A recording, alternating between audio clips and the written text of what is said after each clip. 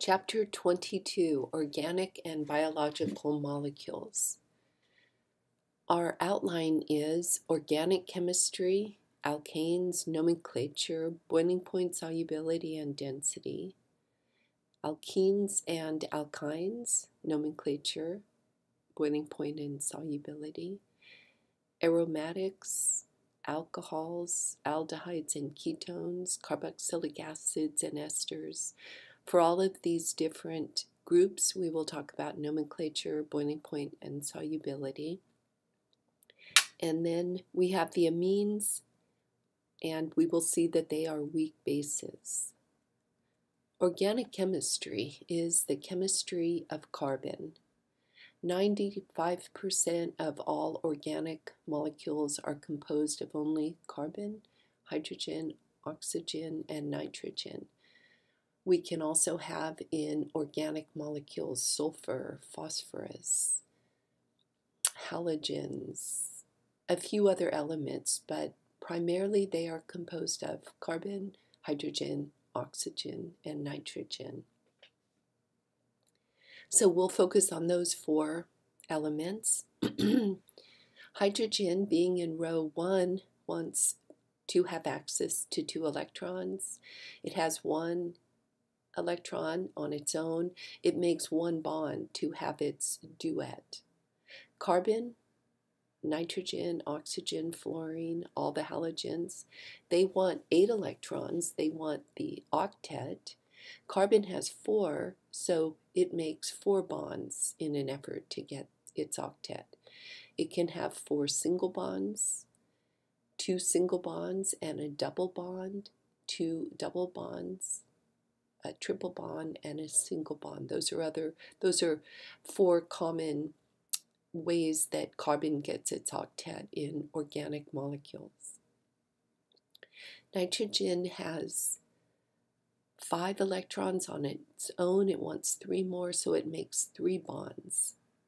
Commonly, in these organic compounds, we find nitrogen with three lone pairs. Of course, it has, uh, I, I'm sorry, three three single bonds around it, one lone pair, or a double bond, a single bond, and of course a lone pair. Um, or it commonly exists with a triple bond and of course a lone pair. Oxygen, it has six valence electrons. It wants two more, so it makes two bonds commonly in these organic molecules. It can have two single bonds and, of course, two lone pairs, or a double bond and then two lone pairs. The halogens, like fluorine, they have seven valence electrons. They want one more, so they make one bond. we often symbolize halogens with X, so of course that covers fluorine, chlorine, etc. And they have three lone pairs. This can be called the HONC principle, kind of like the honk of a bird, where Hydrogen makes one bond, oxygen 2, nitrogen 3, and carbon 4. This applies in these organic molecules that are neutral. Alrighty, so given this information, draw the structures of CH4, C2H6, C3H8, and C4H10. We know that carbon, when it has four bonds around it, has the tetrahedral shape. So looking at molecular shapes, we have the bond angles of 109.5. Carbon is sp3 hybridized. So when we have CH4, we just have that molecule there. We could draw the Lewis structure with it looking like the angles are 90 degrees, but of course we in reality know they're 109.5 degrees. Taking away one of those hydrogens and replacing it with another carbon with its three hydrogens, we have the next molecule. Now we have C3H8, so that has three carbons that we would draw in a chain, and then we would attach hydrogens. To the end carbons, we can call them terminal carbons. We have three hydrogens for the octet rule, and then for the middle carbon, only two. Now, if we look at the, the shape, each carbon has about it a tetrahedral shape, we end up getting kind of a zigzag look about the carbon bond. And we can reflect that in a drawing of it where we use what's called line structure. That's what I'm showing right below the full Lewis structure of C3H8. Make, to make it simpler to draw, we leave off the C, and we know that there's a C at any beginning or ending point of our structure, and anytime there's a bend or a change in bonding that implies a carbon. Line structure makes drawing of structures much quicker than drawing the full Lewis structure. C4H10, so that would have four carbons in it. We could have the, them in a line, so one C after the other. It turns out there's another possibility that we'll get to later. So again, with that zigzag line notation, we could draw it as I've done there.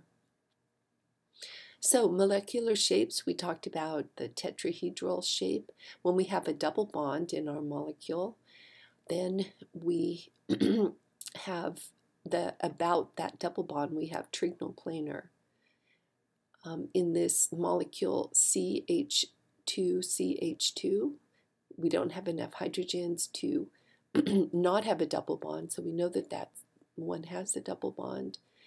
And the angles involved are 120 degrees. The carbons are sp2 hybridized.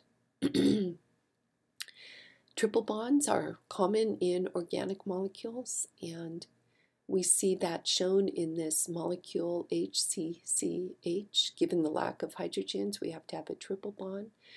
So, about each of the atoms involved in the triple bond, we have linear structure. The carbon in our molecule there is sp hybridized.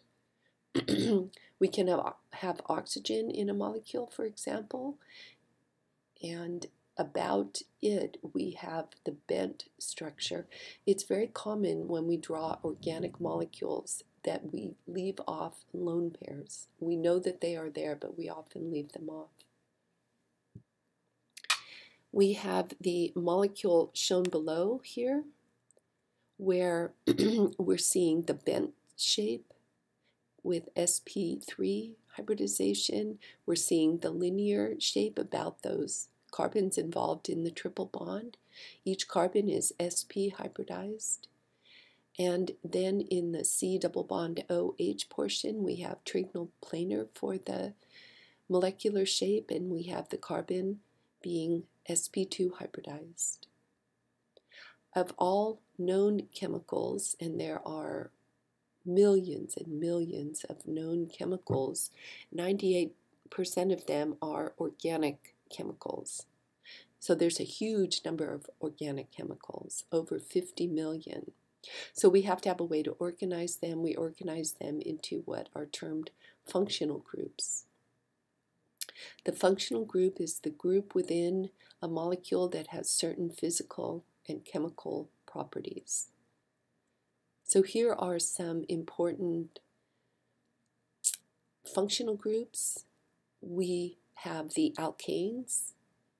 They contain only carbon and hydrogen and have only single bonds. We have the simple example, propane, CH3, CH2, CH3, or in line structure, we see what it looks like and the simple example. So that is this the notation used CH3, CH2, CH3. That is what we can refer to as condensed structure. So it shows the structure. It shows it's a chain of carbons where the first one and the last one have three H's, the middle one two H's. So it completely describes the structure and it does so in this notation that we could use a, a, a keyboard to come up with. We don't need a special drawing program. The next group is the alkenes. They are also containing only carbon and hydrogen. They are what are termed hydrocarbons. So when, a when a compound only contains carbon and hydrogen, it's a hydrocarbon, but they have at least one CC double bond. So an example of that is H2C double bond H2, no, H2C double bond CH2. And the line structure would, would be just, we could draw just like an equal sign. We don't have to show the H's on it because in line structure we leave off carbons and H's usually. We can have a triple bond between carbons. If so, we have an alkyne and ethylene or ethyne is an alkyne. That's the smallest alkyne. So HC triple bond CH.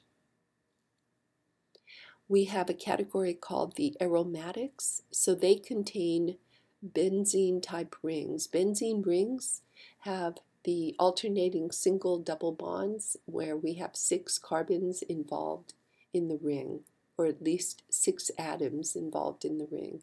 In those, we have resonance. Alkyl halides, those just have a halogen.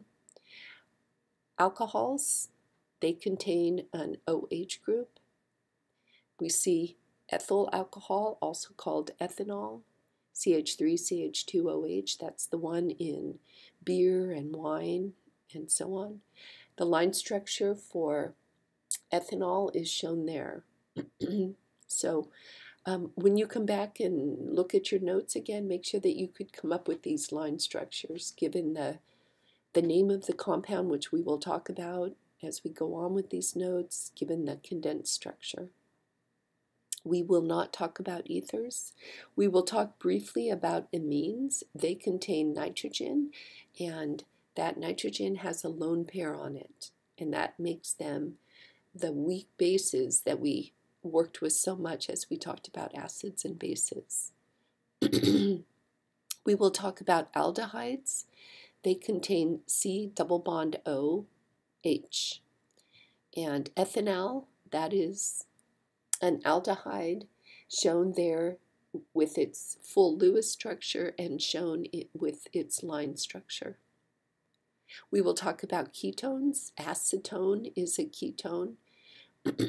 so it has three carbons with C double bond O. So ketones contain C double bond O, where that C double bonded C double bond O carbon is attached to two other carbons so acetone, and we see its line structure.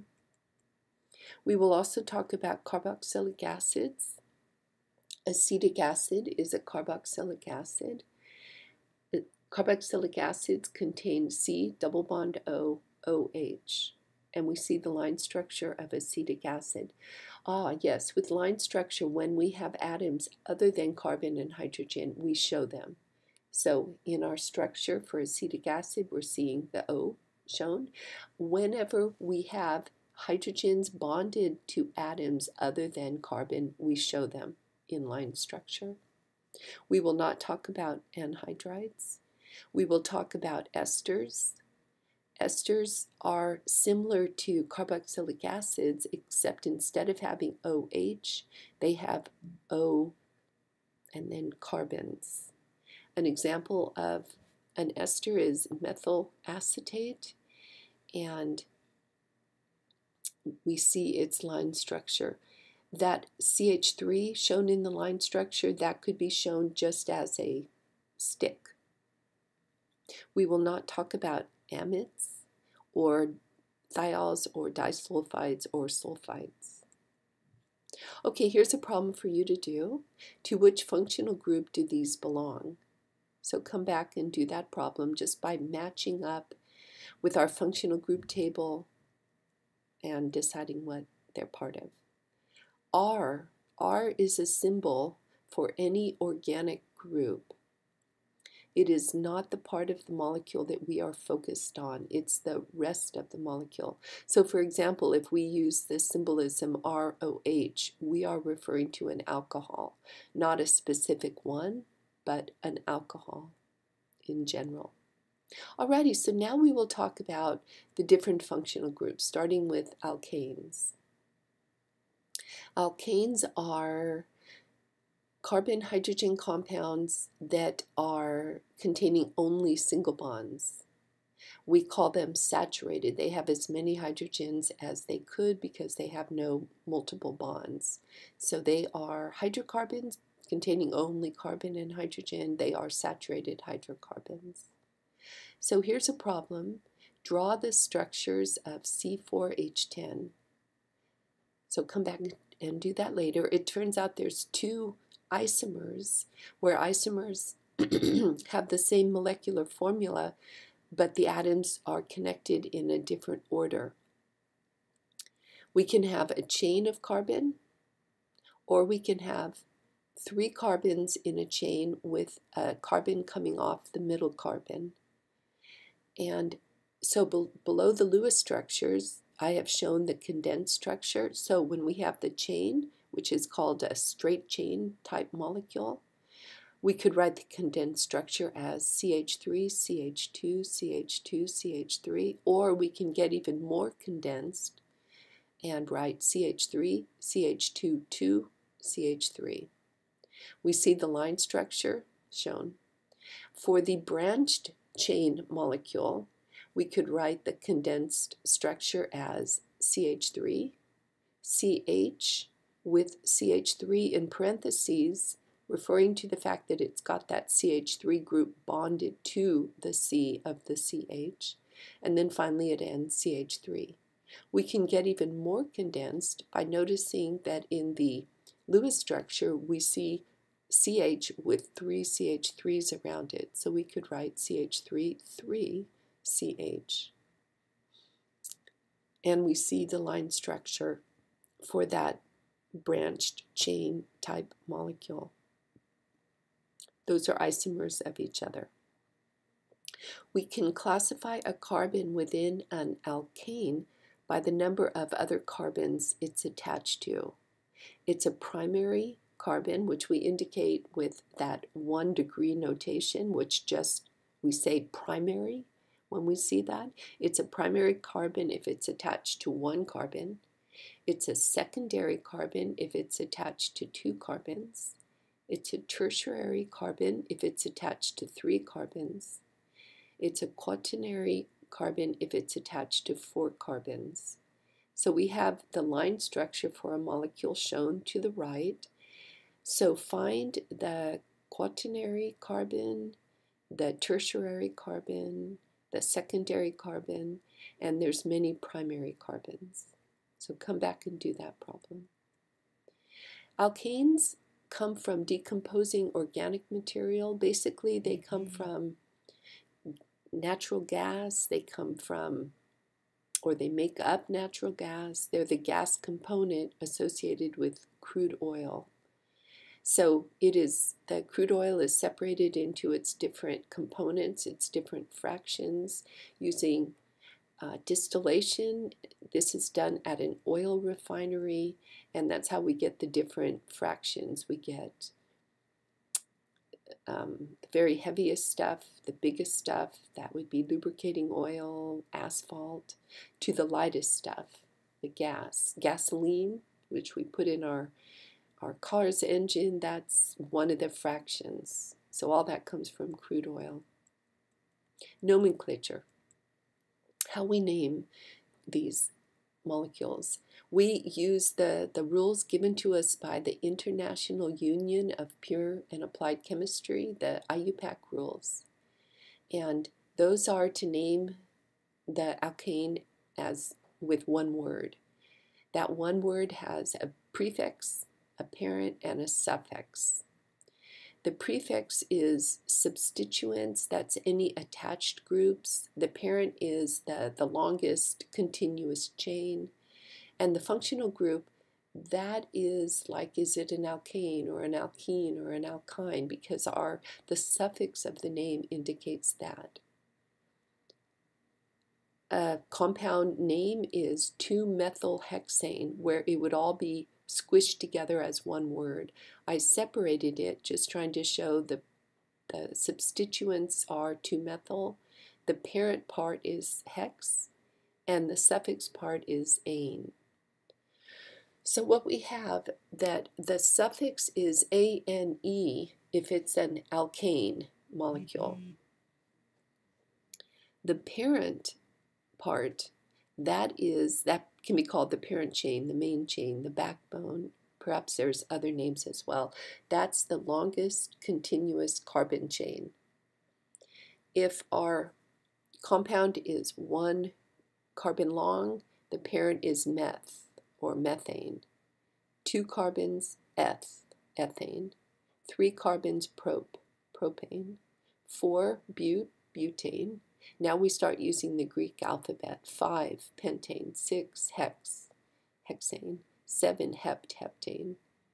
Eight, oct, octane. Nine, non, nonane. And ten, dec, decane. So we associate meth with one, eth with two, prop with three, but with four, pent with five, hex with six, hept with seven, oct with eight, non with nine, and ten with decane.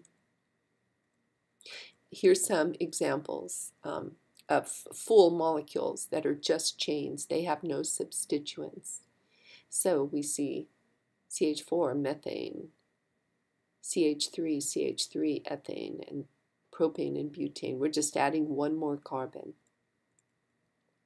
So the prefix part describes any substituents. A substituent is a group attached to the main chain. So in the picture there, I'm trying to show the main chain to be the, the horizontal line, and then the little lollipop looking part on it is a substituent that's attached to the main chain.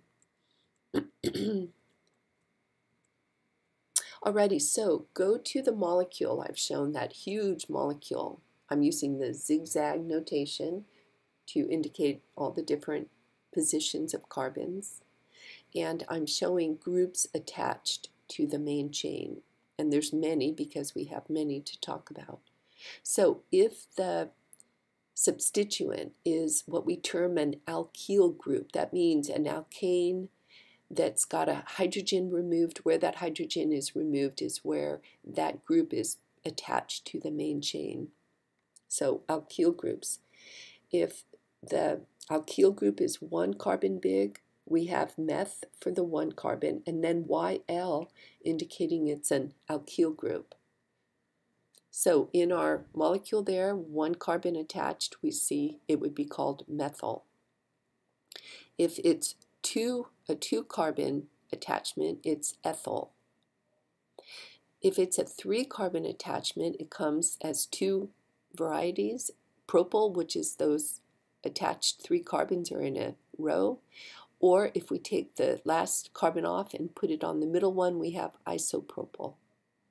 If it's a four carbon attachment, if those four are in a chain, we have butyl. If it looks like the the iso one, isobutyl, that's what we have. If we have those four carbons in a chain, but the attachment is not at a terminal carbon, rather it's at the second carbon, we have what's called sec-butyl, S-butyl. We can also have tert-butyl. So those are different alkyl groups. We're going to see later that we need to know the alphabetical listing. So it's usually the first letter of the substituent. So M for methyl, E for ethyl, P for propyl, I for isopropyl. And that pretty much applies except when it's sec-butyl or tert-butyl, the alphabetical listing is B. We can also have halogens as substituents. If, fluor, if we have fluorine on there, we call it fluoro. Cl we call chloro, Br bromo, I iodo. The alphabetical listing would be the first letter, the F, the C, the B, the I. Okay, so now we put all this stuff together as one word.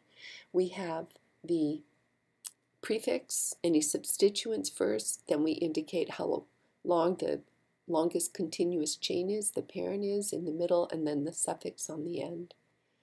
So step one, we name the, the main chain, the parent, by finding the longest continuous carbon chain. So looking at that molecule, which has six carbons in a chain and it has one carbon coming off. Our longest continuous chain is six, so we have hex. We have all just C single bonds, so we have hexane. So that takes care of the parent and the suffix.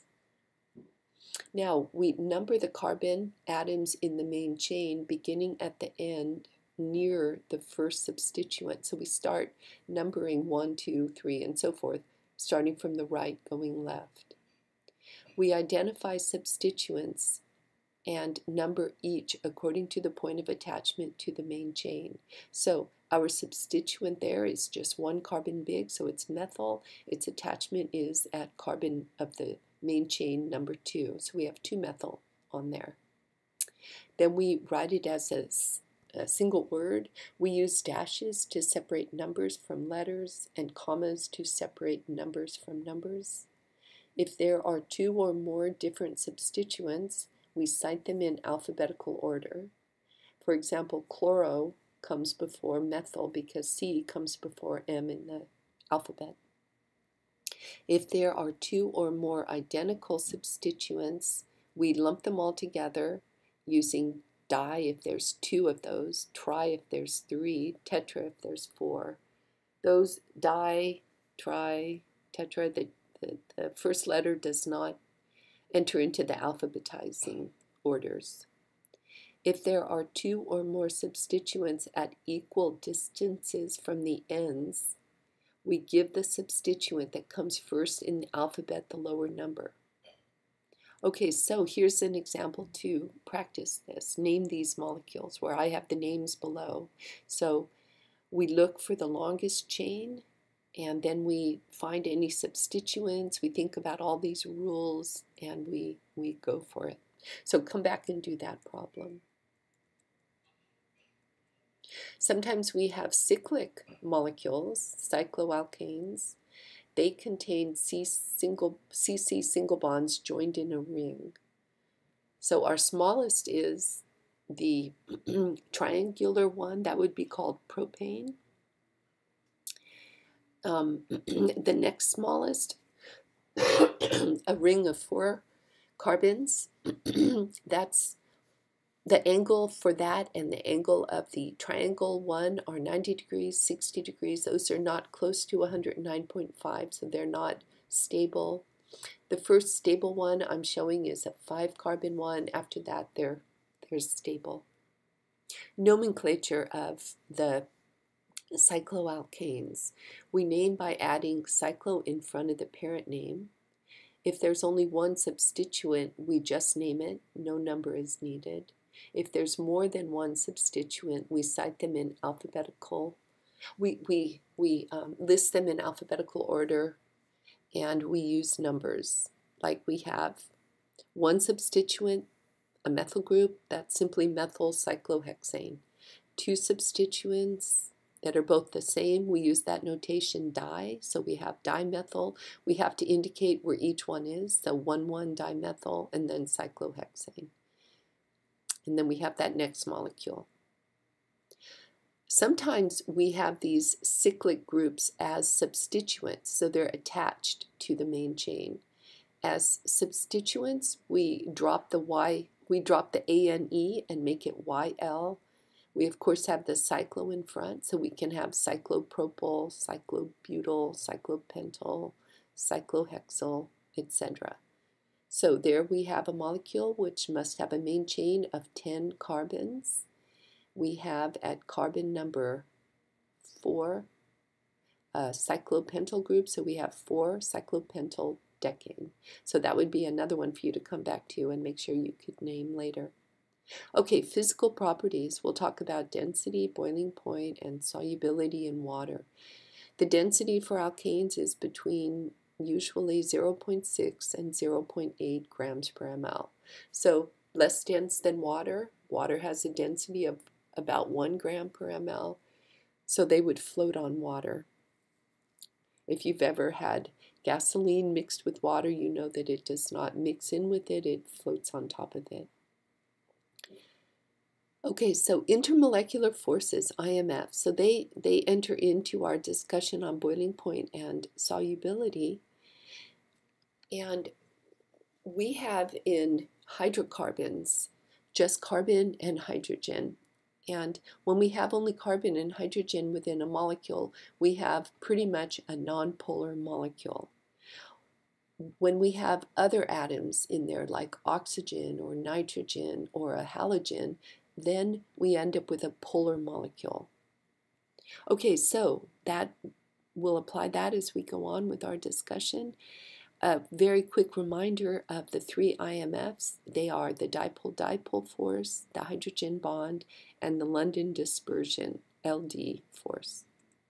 Okay, the dipole-dipole force. For this type of IMF, the molecule must be polar, and as such contains a permanent dipole, where a dipole is a separation of charge. And the dipole-dipole force is the attraction between the negative end of one molecule and the positive end of another. So we see that shown with the molecule HCl. We also see that shown with the aldehyde below, where the oxygen is more, its electronegativity is greater, so it has the partial negative portion uh, charge, and the carbon, the partial positive. And we see that the carbon end of one aldehyde is attracted to the oxygen end of another. The hydrogen bond is an attractive interaction between a lone electron pair on an oxygen, nitrogen, or fluorine atom and the partial positive charge on a hydrogen atom bonded to another O, N, or F. So we see that shown with the alcohol ROH. The O is much more electronegative than the H, so it has the partial minus charge, the H the partial positive. So we see that two alcohols would be attracted to one another with the hydrogen bond between the O and the H. We can have um, compounds mixing with water if everything allows for that. And um, here we have a small aldehyde in with water so the O of the aldehyde is attracted to the H of the water molecule, and that would be a hydrogen bond because we have O on aldehyde making that hydrogen bond to H on a molecule where the H is bonded to O.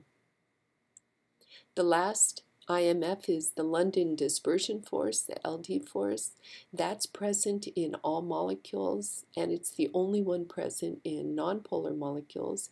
It happens when the electrons move to one end of the molecule, creating a temporary dipole, and that then induces a dipole in neighboring molecules, and then they are attracted by the opposite charges to one another with the LD force.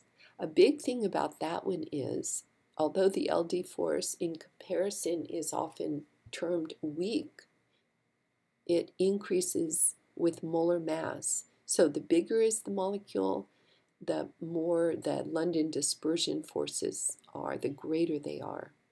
So as we talked about earlier, molecules made of only carbon and hydrogen, the, the hydrocarbons, are pretty much nonpolar because the electronegativity values of carbon and hydrogen are very similar. So we would say most hydrocarbons are nonpolar. They only participate in the LD forces, LD interactions. Most organic compounds composed of carbon and hydrogen with oxygen and nitrogen are, on the other hand, polar. So they would have either the dipole-dipole force or the hydrogen bonding, depending on the, the details of the molecules. Strengths of the IMFs in general, the LD the weakest, dipole-dipole in the middle, the hydrogen the strongest. So when to make a compound boil, to go from the liquid state to the gas state, we have to overcome IMFs. So the greater the IMF, the, the higher the temperature we need to overcome them. And we can see that in this table here of hydrocarbons, of alkanes, going from little methane up to big heptane. So each time we go from methane to ethane to propane, etc., we're adding one more carbon, of course, with hydrogens. Notice the boiling points go up from negative 161 all the way to almost the boiling point of water, 98 degrees. So although we only have within these alkanes the LD force, IMF, we have definitely it increasing, getting sizable as the molecule gets big enough. Solubility, so if two liquids mix together, they are soluble. And just read over that information, but to sum it up, like dissolves like. Polar dissolves polar, nonpolar dissolves nonpolar. So if a molecule is polar enough, it will dissolve in polar water. If not, it won't.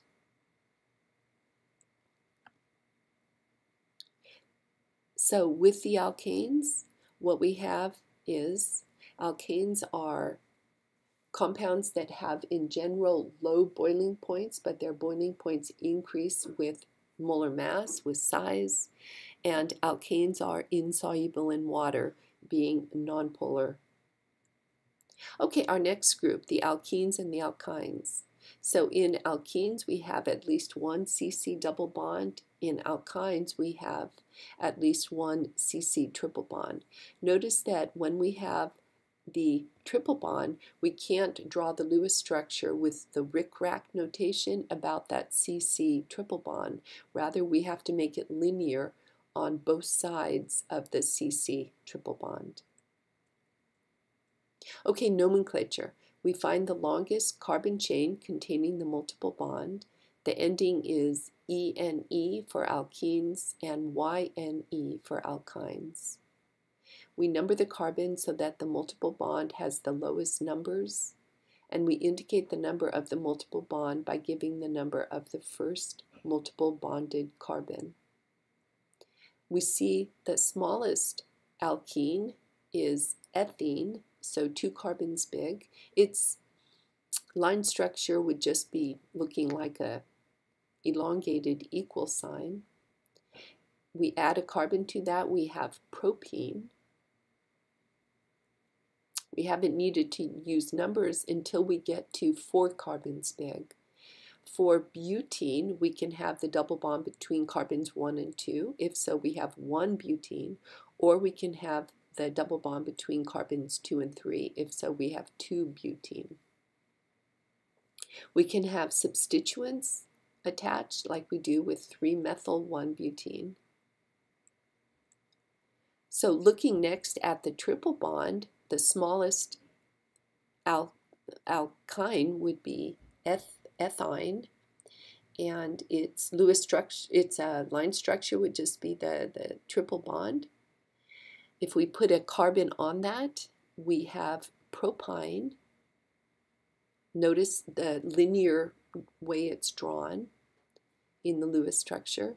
If we put one more carbon on, we can have one butyne, which I'm showing there, or we can have two butyne. So draw two butyne just for practice. Notice about the triple bond, we have the, the linear structure in the line structure. We can have cyclic alkenes, not cyclic alkynes. The bond angles just wouldn't work. Here we have a four, a six carbon one, so we have cyclohexene. No numbers needed it's just simply taken to be between carbons 1 and 2. And we have a cyclohexene with an attachment. Now we need a number for the attachment. 1 and 2, those are the carbons with the double bond, and that puts the chlorine at carbon 3. This porcupine, porcupine, porcupine. That is a bumper sticker I saw on somebody's car some years ago. I thought you might think it's cute. Structure of alkenes. So, about a single bond, we can rotate. The, mole- the atoms can rotate relative to each other because with a single bond we have electrons between the nuclei we have what we term the sigma bond when we have a pi bond, and I've shown the picture of that over on the right, we have the p atomic orbitals having to be parallel to one another to make that pi bond. The electrons are above and below. So whenever we have a double bond or a triple bond for that matter, we've got the, the need to have parallel p atomic orbitals to make the bond. What that means is bonds do not rotate about a multiple bond. So about a double or triple bond, we don't have rotation in those carbon atoms. What that ends up with is two possible isomers when we have the CC single bond, a CC double bond. So let's look at isomers of C2H2Cl2. If we put both chlorines on the same carbon, well, we have 1,1-dichloroethene. If we put them on different carbons, we can have them both on the same side, up or down, like I've shown here with cis 1,2 dichloroethene, or we can have them one on top, one on the bottom, so on opposite sides. If so, we have trans 1,2 dichloroethene. And we can't rotate between those two. We have to break bonds to, to go between them. So we end up with isomers of one another. Here's a problem. Which molecules can exist as cis-trans isomers? So from those names, draw the Lewis structures for practice and see if you can come up with both cis and trans. In the alkynes, like 2-hexyne, we only we don't have two possibilities. That only arises in the alkenes, the cis and trans possibilities. Okay, physical properties. Alkenes and alkynes are nonpolar. They are hydrocarbons. They're nonpolar, so their IMF forces are only LDs. Boiling points are like with the alkanes low, but increase with increasing molar mass. And like the alkanes, they are not water soluble. Aromatic com compounds, they contain benzene like rings. So benzene is that structure I've shown there, C6H6. So it's a cyclic compound with those alternating single double bonds. In reality, there's resonance, so it's a kind of a smearing around the whole ring structure of those pi electrons. And at each carbon, there can be one attachment. Usually it's hydrogen. Benzene and all compounds containing benzene-like rings are called aromatic, having nothing to do with their smell. Um, they can be aromatic and have a nitrogen or an oxygen in the ring. Nomenclature. If it has one substituent, we just name that substituent followed by benzene. So chlorobenzene, ethylbenzene. If we have two substituents, we use numbers or the ortho meta para notation. So if they're on adjacent carbons, we could use the numbers 1, 2, or ortho. And an example I'm giving of that is we have chlorines on adjacent carbons, so we could name it 1, 2 dichlorobenzene, or they're ortho relative to each other, so we would drop the 1, 2 and simply write O. So we'd say orthodichlorobenzene. If we have them separated by a carbon, we have the 1,3 or meta. So our example, ah, we don't have an example. Okay. Um, so that would we would use numbers or the meta notation. We can have them opposite to each other. So we use numbers 1, 4 or para. So we have the example there where we have a bromo group and ethyl group opposite to each other. We name bromo before ethyl comes first in the alphabet, so we also give it the smaller number, 1. So we have 1 bromo, 4 ethyl benzene, or we could simply say para bromo benzene. When we have three or more substituents, then we use numbers, like in that example I've given there. Benzene can be a substituent if it's attached to a, a, a long parent.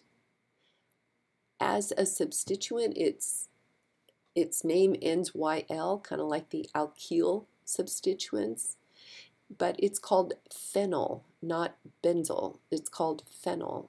So C6H5 as an attachment is phenyl.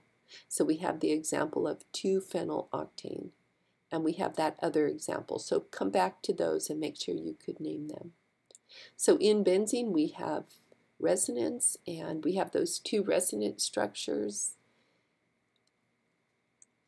Physical properties, benzene is a hydrocarbon, so the IMFs are the London dispersion forces. Um, boiling point is similar to that of other C6, so six carbons, big hydrocarbons and benzene is insoluble in water. Alcohols, ROH. Nomenclature. We find the longest chain that contains the carbon with the OH attached to it. The ending is OL. And actually, we name the alcohol by dropping the E of the alkane and replacing it with OL. Methanol, ethanol. So we keep that kind of like methan part. We keep the AN in there. Step two, number the carbons in the chain beginning with the end closer to the carbon containing the OH group. In a cyclic alcohol, COH is C1, and we continue in the direction that gives the, any substituents the lowest possible numbers. Step three, put the number of the COH immediately before the parent name. In a cyclic alcohol, a 1 is not needed to locate the OH group. Okay, so we have a molecule there that's an alcohol because it has an OH group. It's six carbons long.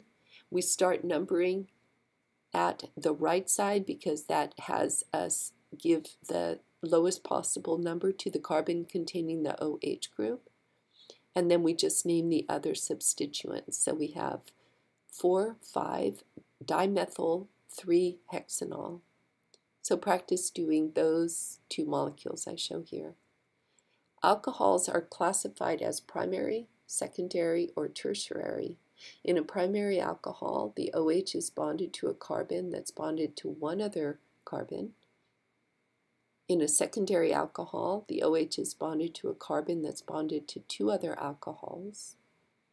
And in a tertiary alcohol, OH is bonded to a carbon that's bonded to three other carbons. Okay, physical properties. Alcohols have an R group, alcohols have an OH group.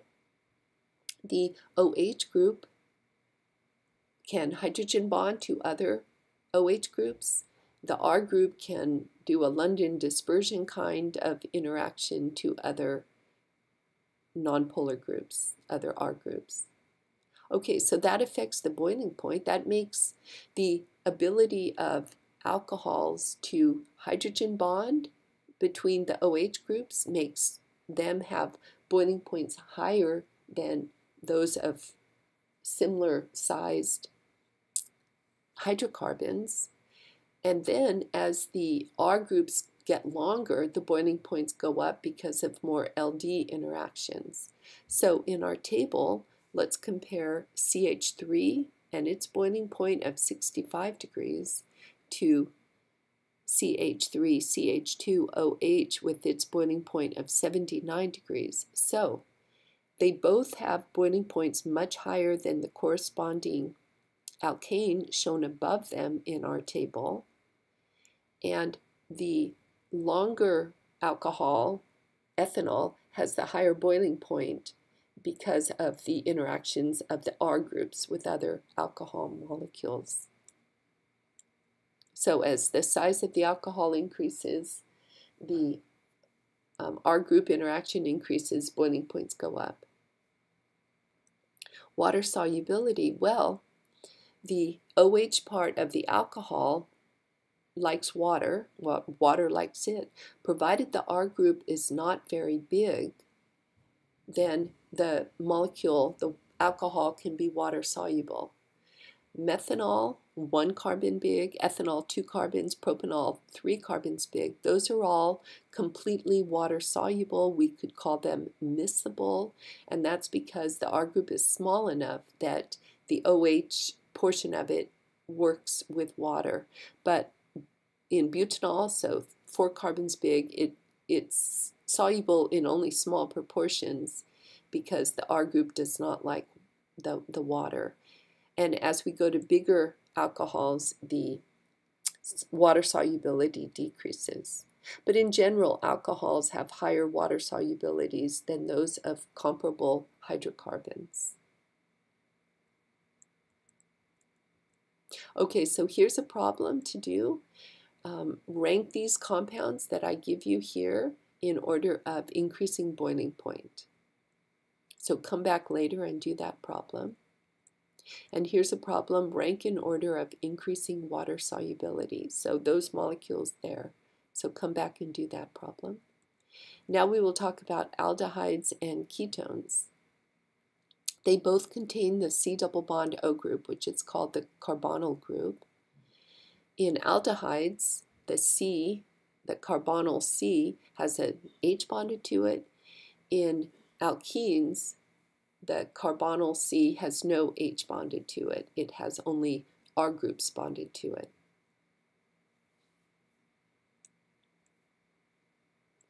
Um, an abbreviation for the alkyl, the aldehyde group is CHO. So C and then the H bonded to it and then that O of the double bond CHO. So nomenclature. Aldehydes, we have a few that have common names, which I gave to you. The IUPAC naming system is what, what we follow. And um, the smallest aldehyde is methanal. So the ending is AL. No number is needed for the, the carbonyl group. It's always C1 given the octet rule. So the smallest is methanal. Next, I'm showing a three carbon aldehyde, a three carbon in the chain aldehyde with one substituent. So that would be propanal, and then at carbon number two, because carbon number one is the carbonyl carbon, at carbon number two we have the methyl group, so we have two methyl propanal. That next one I don't expect you to be able to name because it has more than 10 carbons in its main chain, but it is a main component in the scent of Chanel number no. 5 perfume, and I thought you might enjoy seeing that. It's an aldehyde. Ketones, well, the one with the common name that you probably have heard is acetone, so that's a three carbon compound. In the IU IUPAC naming, the compound would be called propanol, propanone. The ending is ONE for ketone, and um, we number the carbonyl group usually, but it depends on how big the compound is. In propanone, it can only be at that one position, so we don't need a number, so it's simply propanone or acetone. When we have a six carbon one, well, we do need to number where that carbonyl group is. If it's at carbon number two, we have 2-hexanone. We can have cyclic ketones like cyclopentanone, so a five carbon ring with a ketone group. So come back and name the, the next one, the 3-phenyl butanone on your own. Physical properties, well, we have a polar molecule. We don't have H bonded to the O, so we have the simply the dipole-dipole force. And the boiling points are higher in aldehydes and ketones than in comparable hydrocarbons, but lower than in comparable alcohols. So remember the, hydro the hydrocarbons only have LD, so that makes it lower than dipole-dipole of the aldehydes and ketones.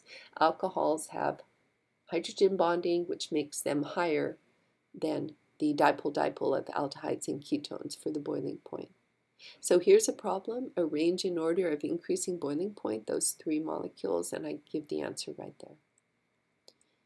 Aldehydes can't hydrogen bond to other aldehydes because although the aldehydes have a prominent H on them, that H is not bonded to O. So water solubility. The carbonyl group oxygen can H bond with water. So aldehydes and ketones have similar solubilities with comparable alcohols. By comparable, I mean about the same molar mass.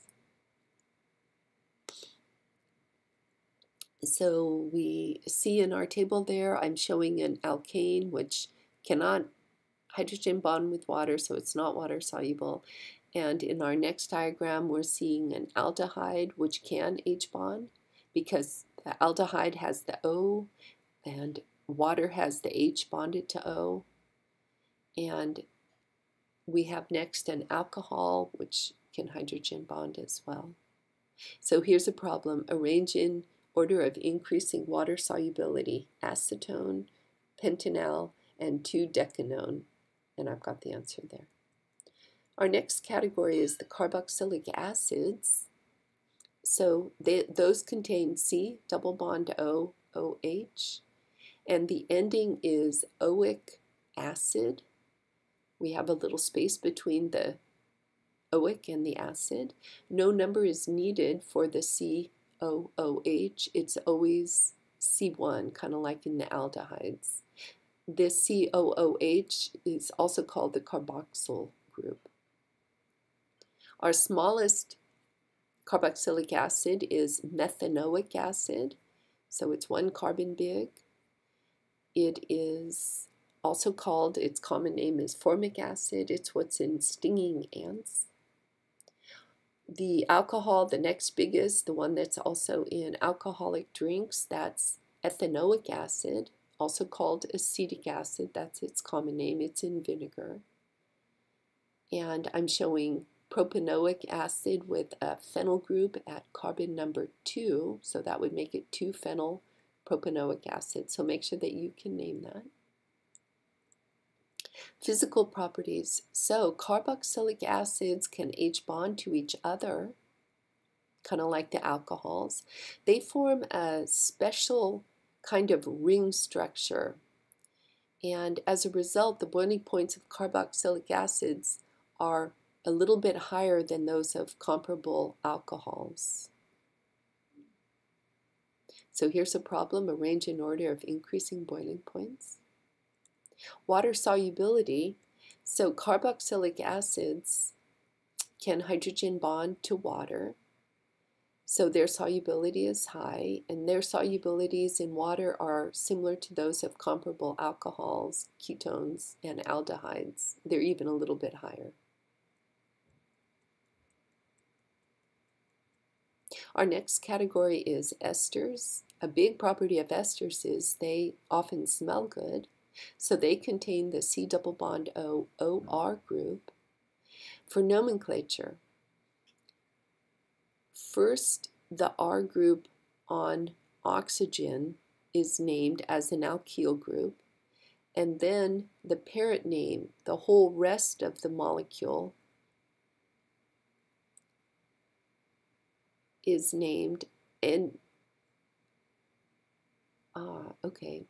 Okay so the I, I have changed the way that I've said this already. So first the R group on oxygen is named as an alkyl group. And then the parent acid because esters are made from carbo from combining a carboxylic acid and an alcohol that's how we get an ester so the carboxylic acid, the, the portion of it that looks kind of like the carboxylic acid, that's the original carboxylic acid that the ester was made from. So we have, once again, first the R group on the O is named as an alkyl group, and then the parent acid, the rest of the molecule ending oic acid, is replaced with ate. Okay, so let's make sense of that by looking at these examples we have here methyl ethanoate. How we name that? So the methyl is that single carbon group that is on the O. That's how we start methyl. And then the rest of the molecule, that's what came from ethanoic acid. And that's because it's two carbons big. So the, the one carbon is the carbonyl carbon, the other one is that carbon on the leftmost side. So, and it's a ester, so the ending is oate. So what we have is methyl ethanoate. Our next compound, so if we look to the carbons on the right side, we have five, so we have pentyl, and then we have remaining four carbons, so we have butanoate, pentyl butanoate. Sometimes those, the pentyl butanoate, all those those two kind of like separate words are merged together into one, but your book keeps them separate. Our next example is a little bit more complex. We will skip that for now. Go below. So go to where we have ethyl butanoate. We have a two carbon group on the O, so that's ethyl. The rest of the compound is the four carbons big it's an ester, so we have ethyl butanoate.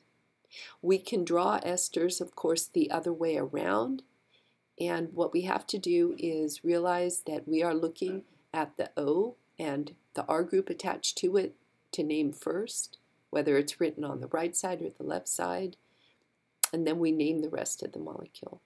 We see that in these examples I've given, some of them I've given a scent associated with them. That would be that these esters are really in apricot or pineapple or banana. And they have a scent that is kind of like that. Of course, the real apricot, pineapple, banana have a, a, a whole array of different chemicals in them that give them their, their fruity taste, their fruity smell to us but these are some of the main components. Our last functional group is the amines, and those contain nitrogen, which has usually the three single bonds around it and the lone pair because of that lone pair. Amines are bases. They are one of the main base in the whole organic world. They are, of course, weak bases. So that is it for our chapter 22 lecture.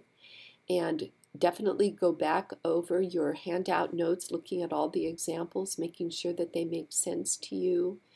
Read over the parts of chapter 22 that we have covered. Chapter 22 has a lot more to it that we have not covered. And do the homework problems that I've assigned. And when the quiz for chapter 22 is open, be sure to get in there and take it.